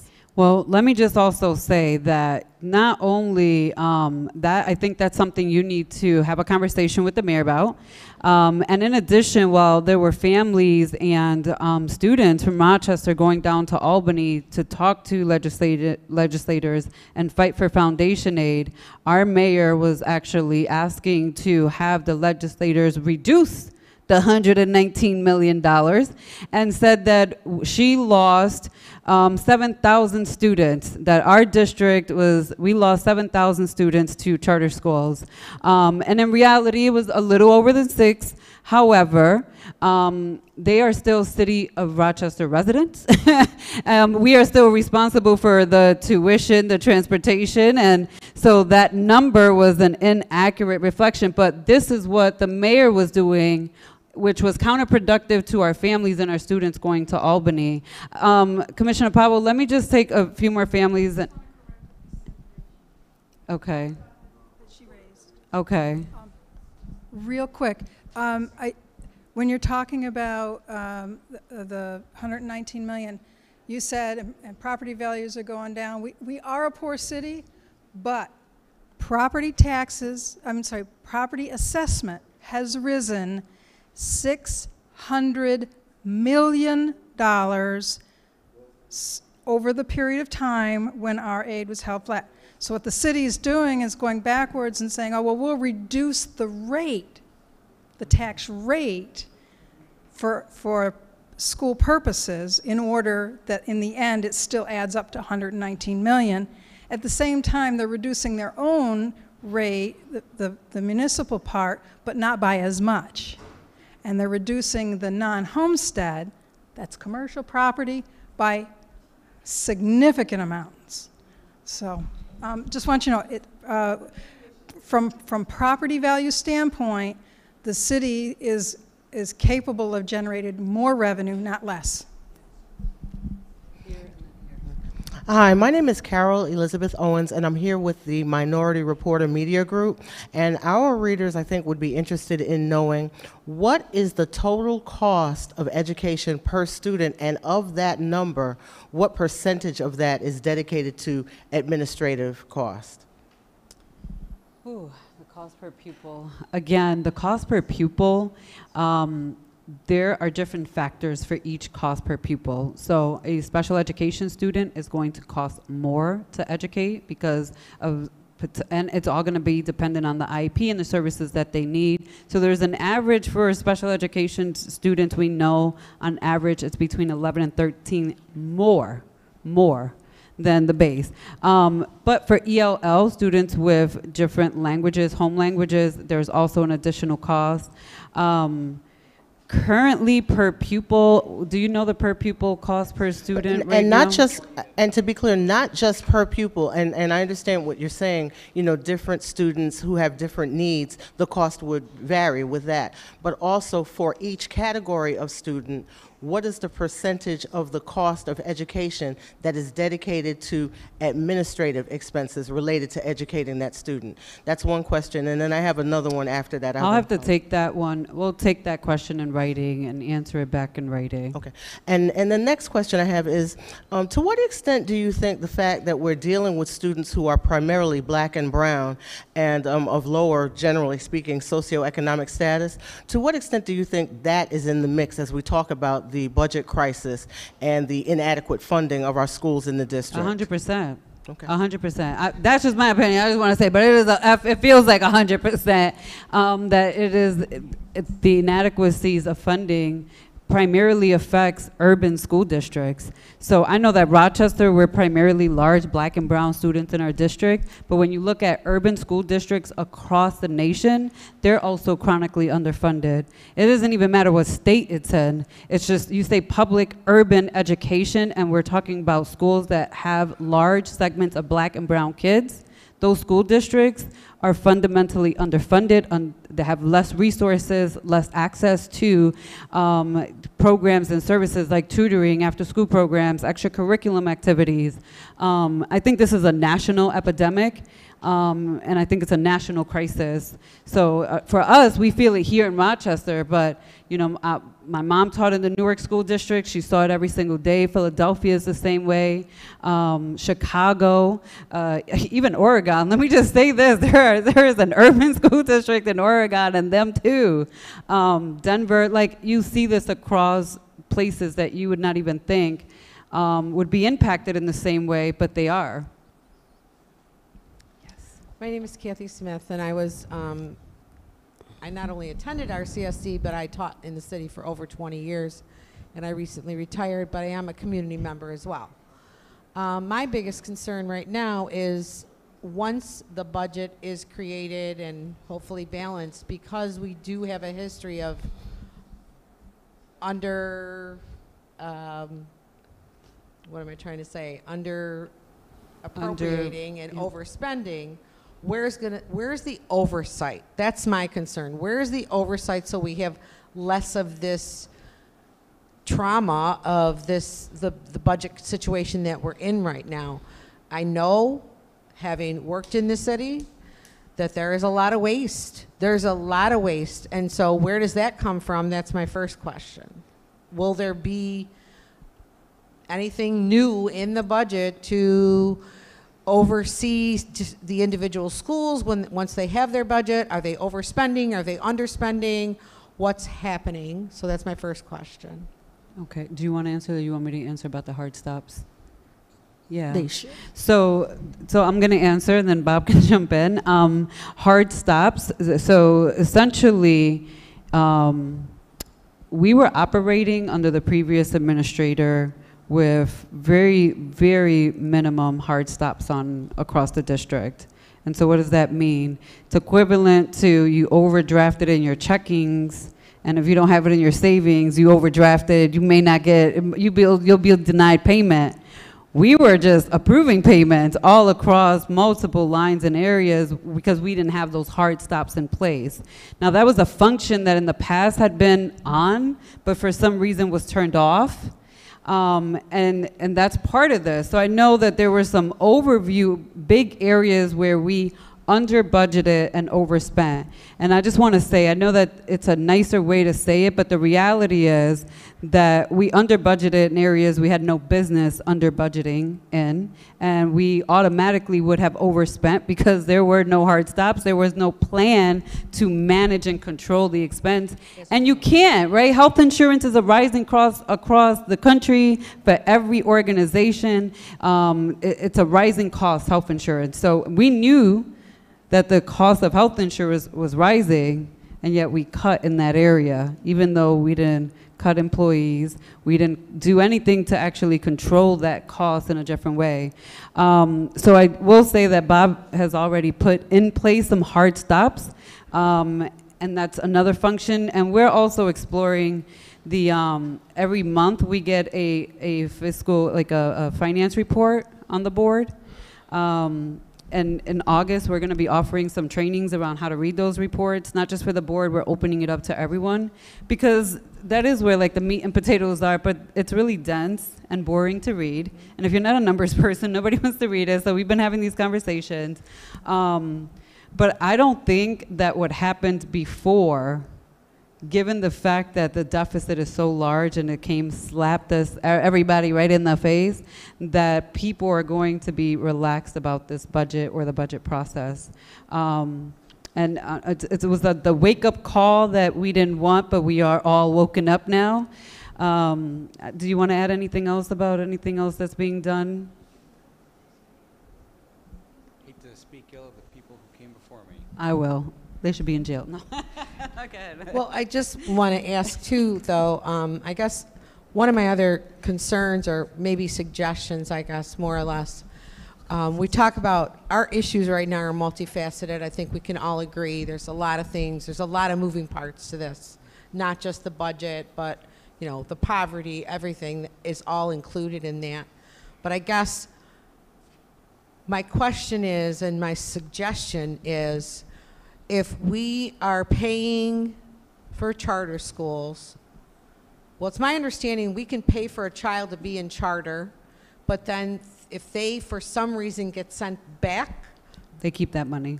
they keep that money for that school year, and we get, we don't have to pay for them the following school year? Is that how that works? Yeah, we wouldn't, we, w- but they get to keep that money, so, um, it's- I think that's a difficult one, because if a school, even, that happens even within the district, so we have a kid, let's say at fifteen, and they transfer schools to fifty-eight, fifteen already took the money to budget, in their budget, because part of that helps allocate, uh, the staffing, right? The enrollment helps to, And I'm not sure how you can ever plan Yeah. for that, I guess. yeah, you, you, it's tough because in a, at least within the district, when it's one school to one school, it's still within our school district and we have some control, we could probably say, hey, 15, send some money over this way because now we have this student and they have more needs than we originally anticipated for it. And we're internal, we could potentially do it. With charters, it's like, um, they, it's their money, they budgeted for it already, and I don't know if there's any way that we do tuition recoupment. Well, the other thing I guess my suggestion is, uh, some, kind of going off of what was suggested over here, is like, so we're paying our bills, but we're not getting paid. That's how I'm, that's what I'm hearing here. We're paying for charter schools, we're paying the city, but we're not getting paid. So maybe, as a single parent, you know, I know, if it's a choice between going to the movies or putting food on the table, let's put some food on the table and not pay our bills. And maybe we'll open up some eyes of give us our money, we'll pay our bills. You're saying don't pay the charter tuition? we are, we are bound by law. I just want you to. we, well, the school board members are bound by law. I just want you to know to do certain things whether we like it or not. Um, I will take that suggestion back to the superintendent and to legal and see what they say. Um, I don't think our, you know, um, I don't think they would be shy from certain lawsuits. Beatrice, this wasn't a, Oh, this yes. wasn't part of my question, but since she said what she did, is there a best practice that you follow concerning charter schools at the district? A best practice that you, uh, you know, adhere to and that you go by? So charter schools. No, not no. So So you're that's just pulling things out of the fringe and you just, Well, it's n- we have no authority or control over charter schools, so so there's no to-do list, this is what we not do? for us, not for the school board, and unfortunately, the other thing I want to add though that um, and and this is a plug, and I know this is being recorded, but for this community to understand that when there is a new charter being proposed. We as the board have hearings for these charters for the community to come and express any concerns because we are obligated to at least document those concerns for the record and submit that to the state. Um, and in the last two years that I've been here, I think there's been like two or three hearings, and even for their renewal, and I've never seen anybody show up. I may see a charter person show up just in case somebody shows up with a question, um, but sometimes they don't even show up because they know nobody in the community is going to show up. And I think if this community really wants to have this fight with charters, or at least let the state know that we don't want any more charters, they're going to have to start showing up at these charter hearings and at the very minimum, speaking out in droves and putting it on the record. Because right now, what the state sees is that we have forums and people speak ill or speak against charters or so forth, uh, or whatever the case may be, but there's never anything on record documented as far as they're concerned because nobody shows up to these public hearings. But if it Um, works, it's okay. But have a best practice. So we, as parents, advocates, if we want to say, let me see the best practices for charter schools, because if if it's working, someone said the school they were at is the bomb. Yeah, uh, I would I would ask that you guys also advocate for transparency in the charters. That's what I'm saying. Yeah. And the other thing is, you know, I thank God for all of us in this room because we're advocates, we're the parents. But I want us to do something different tonight. Let us look at what we're going through with the lens of a child. Okay? Let's switch our lens. Now, I've, I'm in a uh, particular um, predicament and I don't know what to do. I don't want to do what I normally do, so I came here to ask this question. Now, you're still going through budget cuts, you're still cutting teachers. Am I right? Well, we're going through. Uh, I, so the superintendent Part and of his the team, budget. yeah, they do that. I, as a Okay, board all member, have right. no idea what they're going to cut Okay, just so yet. I guess what I'm doing tonight is I've got a granddaughter that's in a school, I'm not going to call the school's name. Next week, they don't know nothing. They were on vacation all this week. Next week, at the end of the week, they're going to lose their teacher and get another teacher. Now, we've got a four month window, and school will be out. And what I don't understand is for kindergartners, why a teacher would be pulled out because of budget cuts and switch with another teacher that they want to put in there because of, I think it's seniority or, but you're, it's interrupting the lives of the child. Because from September until next week, may- you might as well say from September to February, those five-year-olds were used to that one teacher. And now from March on to June, they're going to have another teacher. So I wish it was possible, Beatrice, for you to tell me what I need to do. You might not know. Well, it's tough because seniority again is one of it's a law. It's above the board level. We have to follow that process in terms of follow the law around seniority, and it is tough. Like there were kid, there were teachers in my daughter's school too, um, that yeah, that we lost that.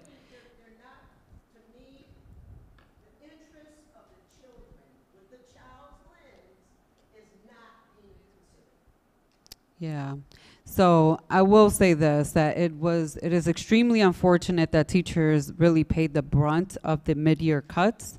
Um, on the flip side of that, we hired a large number of teachers when we had a declining student enrollment, and that was something that our previous superintendent and administration did. And again, we all own the responsibility of that as well. Um, but the seniority clause is, is something that is above the, the preview and the authority of the board. We can't say we want to keep this teacher and ignore seniority because we want this teacher instead. Um, and it's unfortunate. I don't know, and, and you and I can have a follow-up conversation around this because I'm confused as to why there's a mid-year cut now in March anyway, or in mid-February. Um, why that would trickle down now when the cuts happen, and my understanding is all of this was already supposed to be squared away. So we'll have a, a sidebar conversation. So, I just, I just have to be. So no one thinks um, down the road when they get a different response that I was down with response. I need to respond to um, why don't we just not pay some of the people? Um, I need you to know for me that I will never support that. That's how we got here. That's how we got in this hole we got. We was just had an attitude that we wasn't going to pay because we didn't have the money, but we still gonna just implement some stuff. and this got us in this. This is not no normal. This is way beyond normal. This is a big, big hole. So I don't. I just don't want to. I mean, it sounds good as a way of not paying. We have to still pay. Um, so we just cannot be owing what we don't have. That's what got us in this hole. I mean, we we're beyond a hole. And so I just need. I don't want nobody to think they were here and thought that maybe all the school board commissioners were here might been in agreement with that. No, we have to find another way, and it might not be comfortable. Um, but I'm not going to support us not paying because that's we start going down that path. We're going down the same path, and um, the state's coming in and taking over and running these schools with my kids, which is unacceptable for me. It's unacceptable because they've been the problem all down the picture. I've been advocating for kids forever, and it's always been against the, the state's policy, and they've never come through. So to think that they might have the answer is crazy. So I have to do, make my decisions on this board, um, trying to keep them up out of here. Um, I, I, I really do, because at least I, my kids got five or six more years in this district, um, and they mean everything to me. And so I'm going to do everything I can to keep the state out of this district. I'm sorry. So I just had to do that tra- transparency. I totally understand what you're saying. Um, and it, it was kind of meant in jest, Yeah. but not, it, only to the point of how do we get their attention? How do we get their attention? They're not paying us. How do we get their attention? We've written letters. We've went on buses. We've sent emails. We've contacted legislators. How the heck do we get their attention? I totally understand you. And I, I've never not paid my bills, so I, I get what you're saying, okay? I, I totally do. And we don't want anybody looking at us, but they are looking at us because we're broke. We're more than broke. And we didn't get in this situation because we didn't pay our bills. We got in this situation because we didn't know what our bills were. We underestimated and we overspent. So I'm a parent of four kids in the district. Um, s most of my questions have been answered or asked by other people. Um, I did want to, before I ask my question, just mention that when there are um, moments like the charter school, whatever you call it, open forum. They're the hearings. Yes. Yes. I, I feel like as a parent, I would love to be informed about when that happens so I can attend. I didn't even know those existed, to be quite honest. Um, but in addition to that, my question is more on like a specific level of, um, in the midst of all the cuts that are happening, happening, is there um, a way to ensure, or do we have a plan to ensure that every student is going to be taught by a certified teacher? Because there have already been cuts that have happened, and I know that they're looking to do more cuts. And it's my understanding there many classrooms are being covered by long-term subs at this point, and I, I mean, in the hopes that all of our children will be provided quality education, I'm wondering how that's being addressed. Yeah, so Bob is saying there's a national teaching shortage, but um, first and foremost, I think the use of long-term subs was also another area that we underestimated and, and then ended up overspending. Um, and this was my concern even when we were talking about these cuts, like how do we have one area of subs where we have overspent for subs, but then we're saying we have too many staff. Like some of those things need to correlate, and they're not correlating. Um, I I will put that question on the question log officially for the superintendent because again, the questions that we're not able to really answer provide um, a good in-depth answer to. I want the superintendent and his team to address, and I want it to be public and on our website. So certainly something we can look at. And it's also something that the board audit committee could also commit to ensuring as an area to audit and have some oversight to ensure that it remains balanced in that, in that area. Yes. Um, I'm going to take a risk here and try to get into, maybe get into trouble, but um, maybe get into trouble. But um, this room should be filled with parents. This room should be filled with parents. Um, and, you know, I think about it and, and I look around, and there's not very many parents here. And I got to scratch my head about that. And I think that there's some benefit in you folks going out and getting after the parents, doing something. We can write letters, we can go to Albany, but I'll bet you if there's 500 people in this room and there are people from the press, they will report that. The other thing is that, that you know, these kids in the city are also residents of Monroe County, you know? And there's some responsibility that suburban districts mm-hmm. have for all of our kids. Somehow we've got to get to them. I'm looking to you to lead. I'm looking to you folks to lead that, you know, to, to, to get out to churches, to get out to suburban districts and say, hey, listen, we've got to do something about this. You know? Um, I mean, this is nuts, just sitting, listening to, you know, not getting this 86 or 85, whatever it is, million dollars. I mean, it's just nuts. Um, and for suburban districts, I mean, I read about, you know, Rush Henrietta's got built a, uh, a terrific um, um, uh, facility.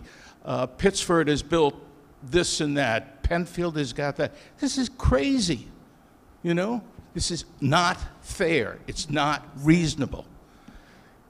So somehow, with 500 people in this room, it won't just be WXXI and, and the Democrat and Chronicle. It'll be the New York Times, you know? That's what ne needs to happen. And, and we've got to get out there and, and talk to people.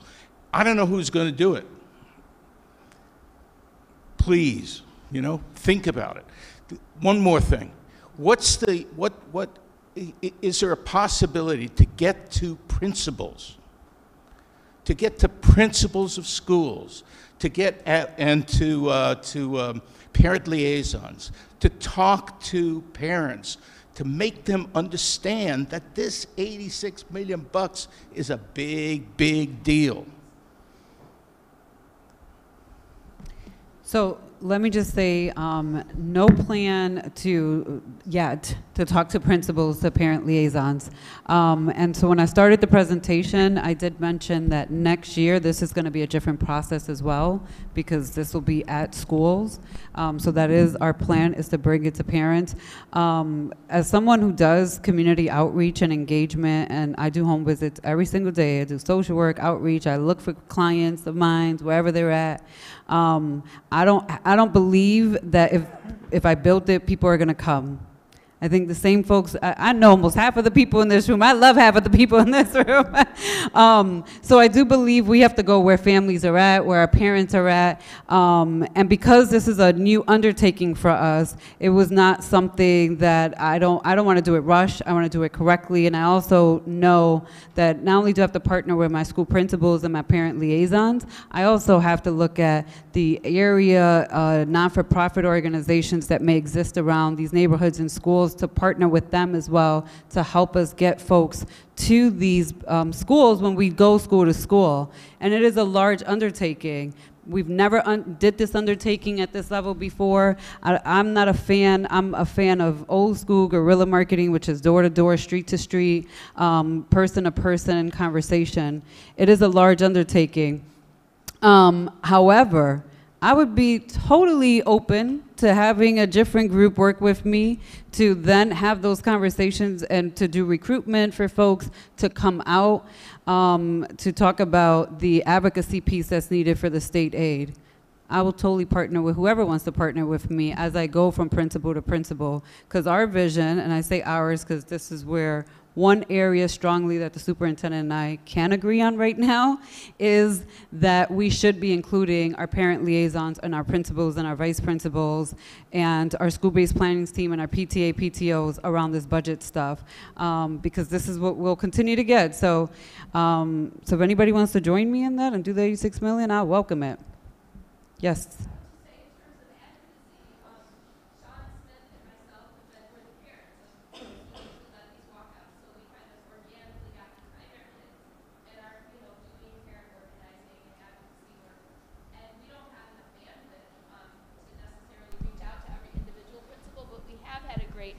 Reception.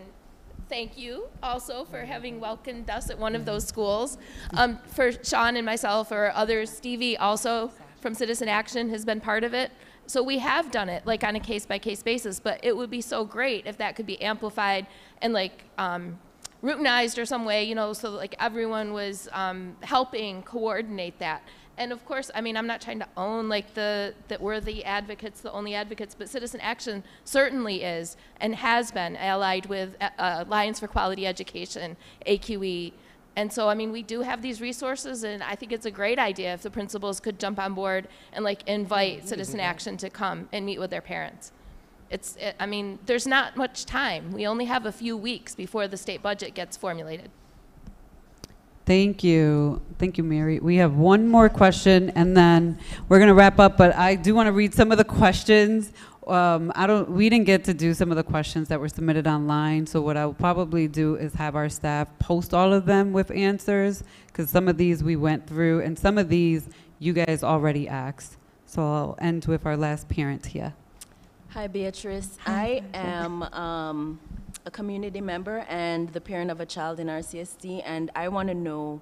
I heard you talking earlier about um, the priorities of the board, and I want to know what is being done to solicit the um, priorities of parents, community members, and families, and how, if is there an official way just to have it on record, and as you said, it's being um, done live, and how does a parent community member say this is my priority, and is that even being taken into consideration in the budget? So good question. We've we've had some back and forth around this. Um, so for this year, the board priorities is really just a guide for the superintendent um, to uh, on things that we're just not going to support. And I always go back to restorative practices because I can tell you, even last year, that was the first thing that the interim superintendent was trying to cut, and we had to kind of go back and forth. Um, we parents have at any time can always email or reach out to school board members. Like you have a fundamental right to reach out to your school board liaisons and so forth. Um, are we going to do a forum to collect uh, uh, parent and community priorities? I don't have a forum plan for that. Um, however, that does not mean that parents cannot speak to and submit those that information. We are going to have an online link like we did for this one with the Google Doc where people can submit questions. And certainly I can go back and talk with staff, and they they they created this feedback form today. I came in, I was like, hey, we didn't do an assessment for this, and they did that while we were here. So certainly something that we can put together and have that live by next week to start collecting feedback um, from the community. But I do want to stress that the reason that I've also asked the board priorities is because 55 to 60 million dollars to cut it is not going to be a, easy process, and I have said this repeatedly over and over and over again, and I've said it so much, I know people get tired of me saying it. It's just going to be a painful, painful process. Um, and so if, if the board has not finalized their priorities, but if there are priorities on there that you agree or don't agree with as well, we, again, we welcome that feedback. Um, but we did try as a board to, everybody got to submit however many recommendations. There was no limits to the amount of recommendations board members were allowed to submit. And as a board, we decided which ones based on a vote. Um, but if once those are finalized by next Thursday, if you see that there are things that are lacking in what you would want as a parent or as a community member, certainly feel free. You, well, you know, you can reach out, but I will make a formal process for any parent um, to be able to submit. But I do think um, it's going to be important to look at what the board finalized as a list and then say this is not enough or these are areas that we want the board to really fight and support. And I'll give an example. Commissioner Sheppard, I'm gonna put her on the spot because she had um, fund early literacy. And the way it was written, we didn't have an in-depth conversation about it.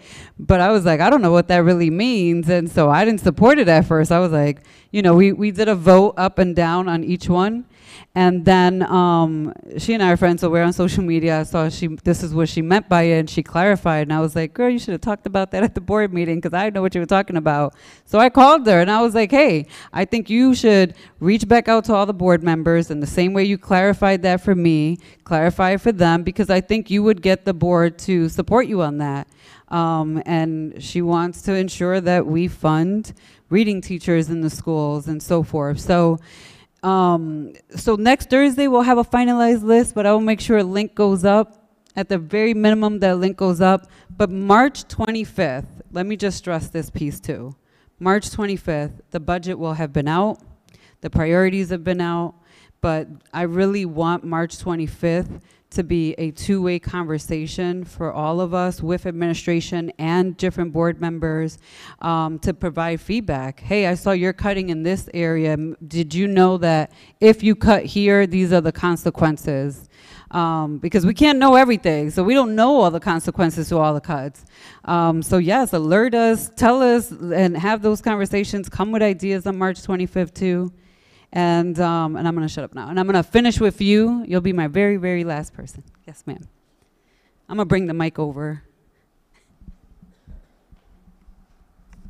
Is it possible to have these meetings at the uh, rec centers?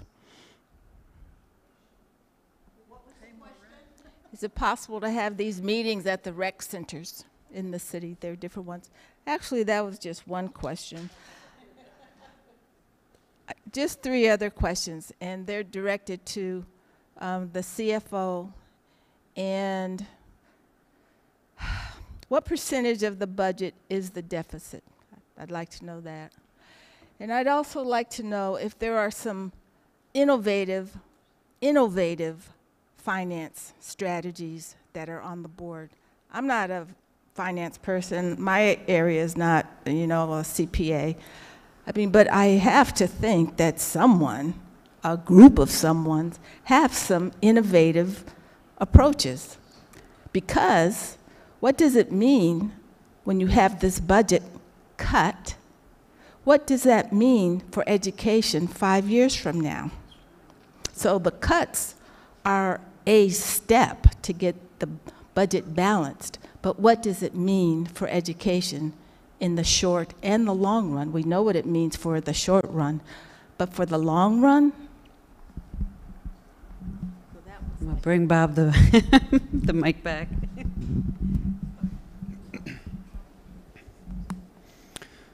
The first part of your question was the deficit. Um, And I'm going to suggest that you're talking about the forecasted 55 to 60 million dollar deficit for the next school year. So we have about a 900 and, I'm just going to call it a 950 million dollar budget. So 60 million divided by 950, yeah, that's, I don't know, six, seven percent? So it's statistically significant, that's for sure. Um, short term versus long term, you know, I appreciate the tension between the short term and the long term, but I will say there will be no long term without a short term. So we have to have a balanced budget for this uh, school year that has yet to end, and we have to have a balanced budget going into the next school year, and that will happen.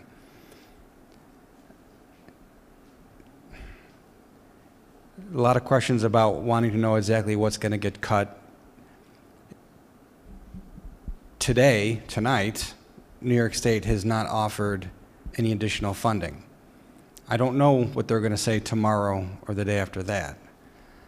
But if the answer is zero, we're going to have to find 55 to 60 million dollars within a 950 million dollar budget, and it's not going to be pleasant. And I think a lot of areas are going to see the impact of that. There's just no other way around it. That is a cold but hard fact.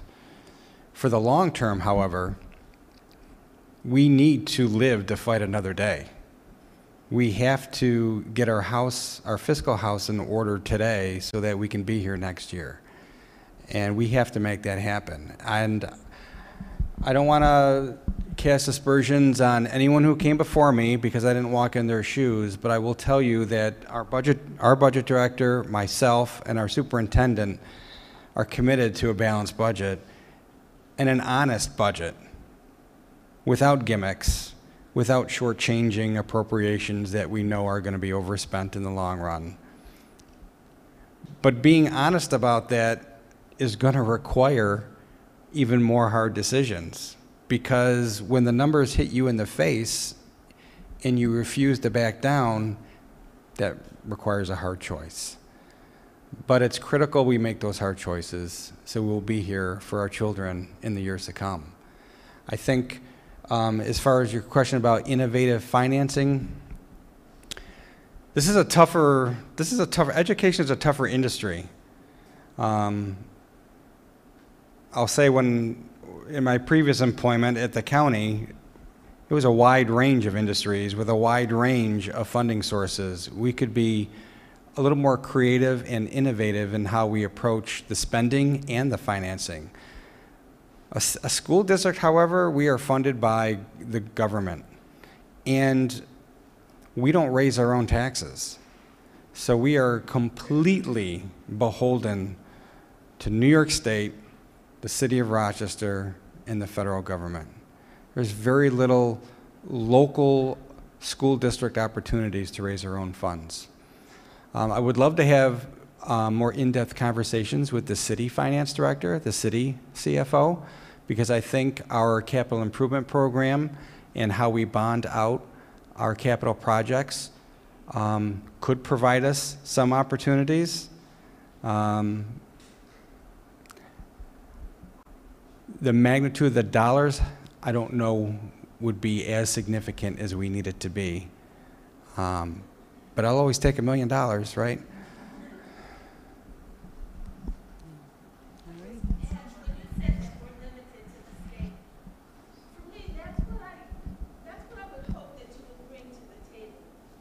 Are we, are we stuck in this box? Or is there a way to expand the flaps on this box so that there are other income sources? And I'm not saying it because I know that there are, but there has, there has to be some additional ways because the old ways seem to be failing. And I would like for you and the new budget director to be able to use the cliche and to be able to think outside the box. I appreciate where you're coming from. My challenge tonight is the fact that I've been here a month and a half. But I've come a long way in a month and a half. At least I'm up, uh, speaking to you all and looking you in the eye. Um, I have every bit of confidence in the, both the budget team and the accounting team at the school district. They're good people and they're smart people. I have confidence that I have a good working relationship with our budget director. Um, I will pat myself on the back and let you know that when I was the county CFO, we improved the fund balance for the county. It was virtually nothing, and we, in the course of six years, brought that up to 6.1% of general fund revenues. We increased the bond rating four times in three years. So we have the experience within the finance department, and we have strong leadership in our superintendent and our deputy superintendent. So I'm, I'm on the one hand, being new is, is almost um, um, a crutch is not the right word. Um, it's a struggle, but the team we have in place gives this district great opportunity. And right now, we're going to solve the current fiscal year problem, and we're going to put together a balanced budget for the next school year. But we have the team that's going to give this school district opportunity three years, four years, five years from now. Can I just clarify too, and then we're gonna wrap up the, when he set the fund balance, that's essentially like our savings account, so he had money that was put into the savings for the county. They didn't have any savings, and that's where we're at right now. We have no, we have uh no fund balance, so we definitely need to start saving again. So I just want to thank you all for coming out tonight. Um, really, really, really for your time. We, I love your feedback. It's on the RCSD. If you just put rcsd.org budget town hall, but we will have that on the RCSD website. We'll post it on our social media if you're involved in the social media. Um, and yeah, hopefully we'll see you March 25th. And also, you can email board members at any time. That's what we are elected to do. So just want to throw that out there. Thank you again.